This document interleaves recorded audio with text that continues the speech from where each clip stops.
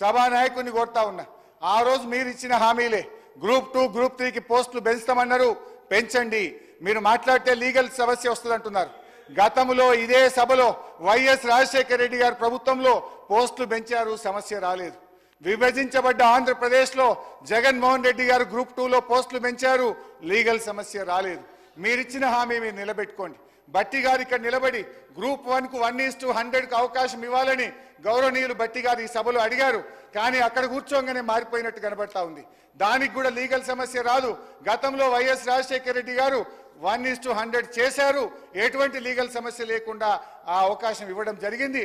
బేసిజాలకు పోకుండా దయచేసి వా నిరుద్యోగులకు ఇచ్చిన మాటను నిలుపుకొని అమలు చేయాలని చెప్పి నేను మీ ద్వారా వారిని కోరుతున్నా. నిరుద్యోగులకు నాలుగు వేల భృతి పోయినసారి అడిగితే బట్టి గారు ఇదే సభలో మేము అటువంటి హామీ ఇవ్వలేదని అన్నారు. దయచేసి చూసుకొని ఆ నిరుద్యోగులకు భృతి ఎప్పటి నుంచి ఇస్తారో మీరు బడ్జెట్లో కేటాయింపులు లేవు. దాని గురించి కూడా చెప్పాలని కోరుతున్నా. హైదరాబాద్లో అభివృద్ధి జరగలేదన్నారు. చెప్తే దానికి ఒక పది పేజీలు ఉన్నది. కానీ టైం లేదు. మళ్ళీ నెక్స్ట్ మేము లాస్ట్లో దాంట్లో మాట్లాడతాం. కానీ హైదరాబాద్లో మేము చేసిన అభివృద్ధి వల్లనే హైదరాబాద్ ప్రజలు నిండుగా మమ్మల్ని అన్ని రకాలుగా ఆశీర్వదించిన విషయాన్ని గుర్తుపెట్టుకోండి. అధ్యక్ష ఎందుకు చంద్రబాబు నాయుడు చెప్పలేదా మొన్న? మొన్న ముఖ్యమంత్రిగా ప్రమాణ స్వీకారం చేసి ఎన్టీఆర్ ట్రస్ట్ భవన్లో మాట్లాడుతూ నేను అభివృద్ధి చేసిన నా తర్వాత వచ్చిన కేసీఆర్ గారి ప్రభుత్వం హైదరాబాద్ను బాగా అభివృద్ధి చేసిందని చంద్రబాబు నాయుడు వీరి గురువు సారీ గురువు అన్నదేమో సహచరుడు వీరి సహచరుడు కూడా చెప్పింది కదా అధ్యక్ష.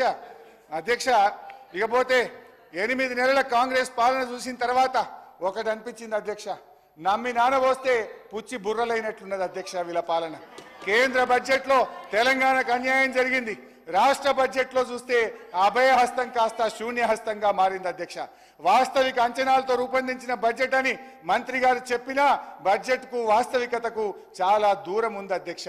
ఇది ప్రజల బాగోగులు కేంద్రంగా తయారైన బడ్జెట్ కాదు రాజకీయం ఎక్కువ ప్రజల కోణం తక్కువ. ఆరు గ్యారంటీలకు అనుగుణంగా హామీలు కనబడలేదు అధ్యక్ష.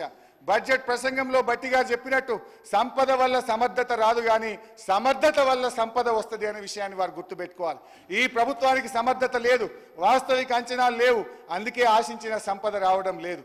ఫలితంగా ప్రజా సమస్యలు పరిష్కారం కావు అనే నిరాశ ఈ బడ్జెట్ మిగిల్చింది. రాబోయే బడ్జెట్ అయినా ఆశాజనకంగా ఉండాలని కోరుకుంటున్నాను.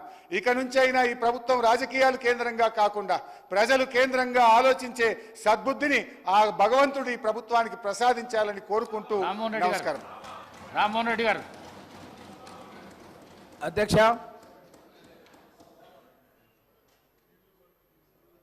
బడ్జెట్ పైన మాట్లాడడానికి అవకాశం కల్పించినందుకు మీకు ధన్యవాదాలు తెలియజేస్తున్నాను